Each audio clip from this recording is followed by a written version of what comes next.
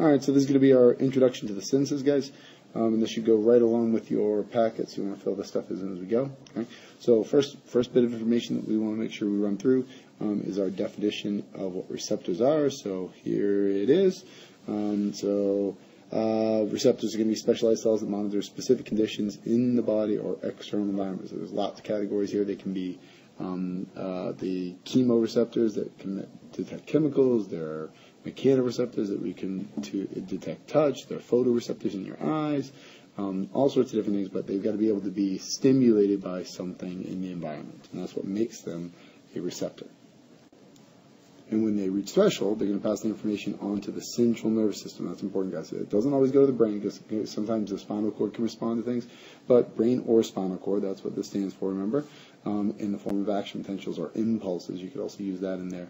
Um, along the axon of the sensory neuron. So that's input going in. All right. Not on your packet, but something I want you to be aware of. Um, they're not all the same. All receptors are not exactly the same. Uh, they have uh, varying sensitivity. That's important. Okay, so uh, some are going to be sensitive to really light touch versus others you have to push much harder on. Um, uh, some respond to um, uh, a, a, different wavelength of light, so they actually vary a little bit. Um, and then they also have this idea of receptive field, and you can actually see that uh, better in the next picture. But let me run through it first. So area is monitored by a single the area that is monitored by a single uh, receptor cell. Um, so here's a picture kind of showing the receptive field, okay? Um, and when we look at this, you've got one neuron here, right? Here's another neuron, and this is the area that it's responsible for taking in the information about, and this one. So this could be uh, two, two uh, cold receptors. Um, and if you put something cold here, this one's going to send the signal. If you put it here, it's going to send the signal. If it hits both of them, then it's going to send the signal. Um, they're both going to send impulses to the brain. So uh, they actually have a certain area that's designated to each one of the neurons. So it's called referred to as a receptive field. Receptive field. So going back to your packet now, um, the next thing you guys had to get down was the idea of sensation. So sensation is this little chunk here. Okay, so it's a conscious awareness of the stimulus, or uh, the way I tend to put it is it's the brain's interpretation of the action potentials. And as you can see, it, it, all happens in the brain. So all touch, pain, temperature, pressure, all happens in the brain guys. All we do is send the action. So when you like stub your toe, your toe doesn't actually feel the pain. It just sends action potentials to the brain, then your brain has to interpret and say, ouch, that's, and recognize it's coming from the toe. Um, I'm going to show you a couple examples, guys, uh, where that can be mistaken, uh, where things can get messed up in there, because all that happens in the brain, all right? Um, the next one you guys had on there is the idea of projection. Okay, so it doesn't do any good for your brain to feel pain if you can't locate it, if you can't recognize that it's actually my foot hurting, that it is that somebody's tapping me on my shoulder, none of that is useful. So the brain then projects, and essentially what that does, it kind of places um, a sensation uh, so it feels like it's coming from a certain area. So you feel like there's information coming from that area. Okay, um, and it's it all it's all a construct to your mind. Okay, nothing actually happens. If I stub my toe, the signal doesn't get sent back down to my toe, but my brain becomes kind of aware of my toe hurting, and it kind of makes it feel like my toe's hurting, even though all that happens is send some action potentials. There's no actual pain happening in my foot. Okay, uh, so that's the idea of projection. It's kind of a weird idea. Next vocab word you guys have on there is adaptation. Okay, and what happens is if you have constant stimulus, your brain tends to filter it out. Okay, uh, new information your brain deems really important. Constant information it kind of filters out. So, for instance, if you think about right now, um, think about your um, well, you're sitting down someplace, right? So think about your butt. Okay, the bottom of your butt. Um, can you feel the seat underneath you? All right, so you can feel that if you think about it, okay? But your brain kind of filtered that out and you stop thinking about that. Um, and uh, your brain does this really well for um, anything that's not painful, okay? So uh, painless stimuli are kind of the exception to this rule, but uh, are painful stimuli are the exception to the rule. Um, but uh, think about your environment around you. Can you, like, listen and think of, uh, can you hear a fan? Blowing around you or your computer humming or anything along those lines. That's information that's being sent in, but your brain kind of filters it out because you don't want to have sensory overload and have too much information coming in. And that's all part of adaptation. Right, so the next one on your list is this idea of transduction. Uh, actually have a slide here, so we're going to kind of squeeze this in here. So transduction, um, it's whenever one of these um, receptors converts whatever the stimulus is into an action potential. So when your eye takes the the photons coming into the eye and converts that into an action potential, or the pressure in your finger gets converted into an action potential by the touch receptor, or the chemicals on your tongue get converted into an action potential. So it's that changing of information. So it's going from chemical to an action potential or light to an action potential. That is referred to as transduction. So that's what all of your receptors actually are capable of. They're capable of transduction. That's what makes them special. All right, the next thing on there is referred pain. Okay, and you'll see that down here, but let's talk about it a little bit. So we mentioned that sensation all happens in the brain. That's the brain's interpretation of the action potentials. And that projection is the placing of that sensation. That all happens in the brain. Okay, so sometimes the brain can mess these things up. Okay, so you can have people that hallucinate and they'll actually see things that aren't actually there because you get action potentials in the wrong parts of the brain. Um, but this is a more uh, common occurrence here. Um, so uh, the most classic example is, is a heart attack. Okay, so when a person feels a heart attack, they often feel the pain in the left arm. Okay, and there's nothing wrong with the left arm. The heart actually is sending action potentials up to the brain, but the brain is confused about it. It doesn't know what that action potential means, so it misinterprets it. It messes up the sensation. It gets confused here, and then projects the signal out where it thinks it's coming from.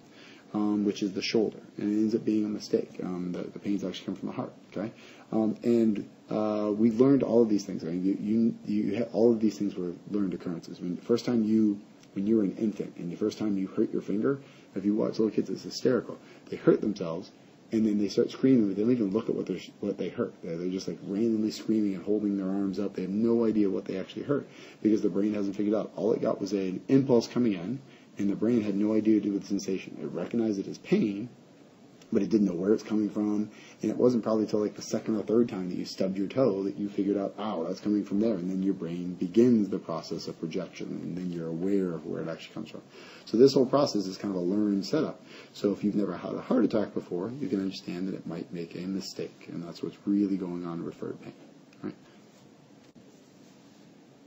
All right, so we're going to be focused on the somatic senses in this video versus the special senses. There's a separate video for the special senses, but really that's what we're talking about. The special senses are your vision, your touch, your balance, your hearing, your smell, your taste, that kind of stuff. Okay. Everything else is called the somatic senses or general senses, as you'll see here, um, and things like uh, pain and temperature and touch, vibration, pressure.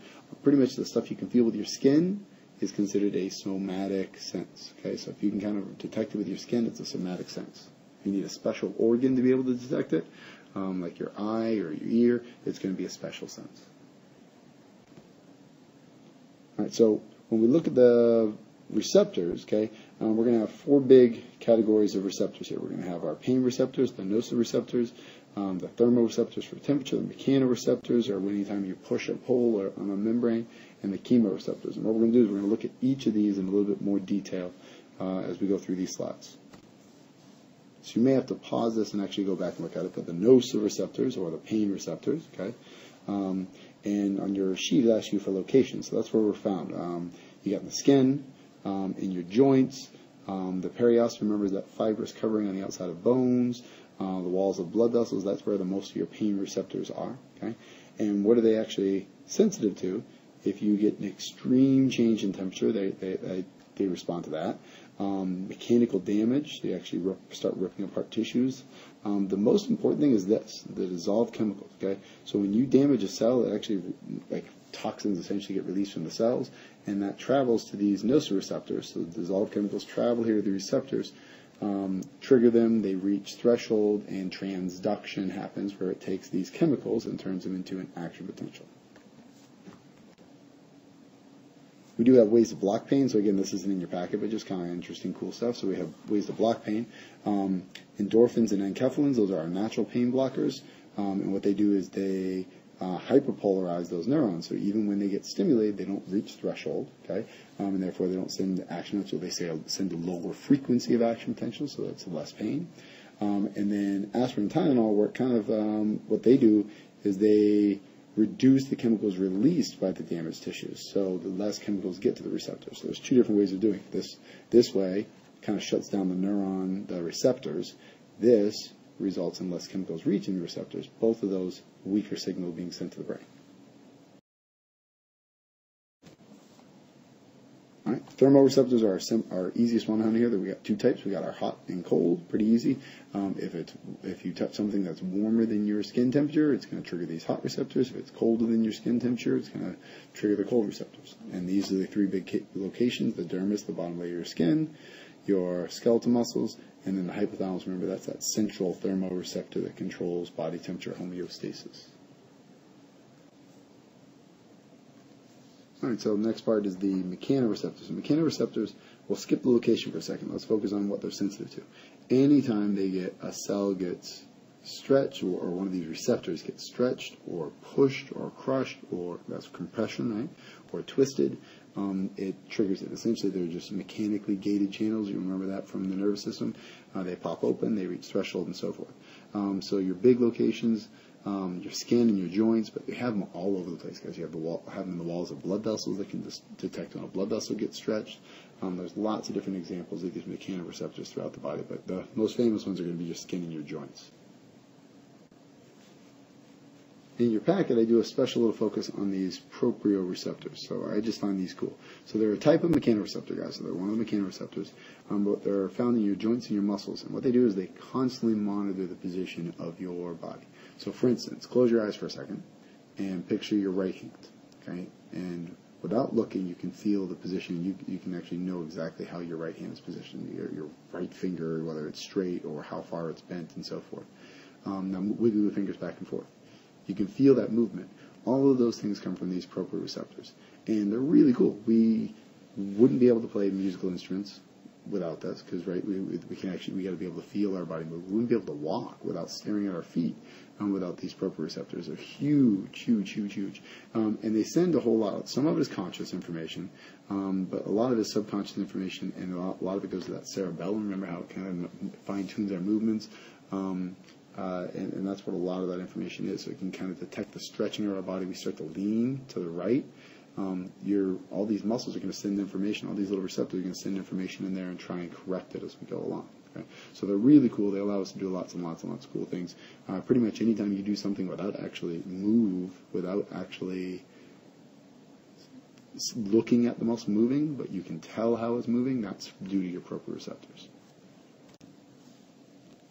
All right, last category is our chemoreceptors. So our chemoreceptors, um, they uh, respond. So what do they actually respond to?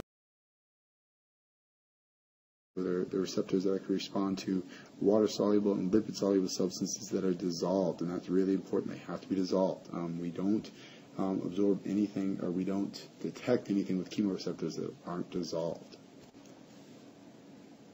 And with the cardiovascular system, they do important things like now, they're going to be really important for taste and smell. That's going to be where we're talking mostly about these chemoreceptors.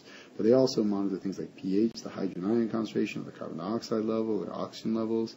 Um, so they're going to be kind of important for those types of things. Um, and for the other senses, it says, what other senses do you think? Kind of gave that away already. Uh, your taste and smell, dissolved chemicals. So when food comes in your mouth, dissolves in your saliva, that's what triggers the receptors. When, when chemicals go into your nose, dissolves in your mucus, that's what triggers the receptors. Right? So that'll carry us through the uh, the somatic senses, guys. Uh, we're going to spend a lot of time focusing on the special senses: taste, smell, hearing, vision, uh, balance. We'll get to all that stuff, uh, but that's just your brief introduction. Come in tomorrow. Make sure you have your stuff circled. Um, anything you're confused on, make sure you ask right away. Have a great night.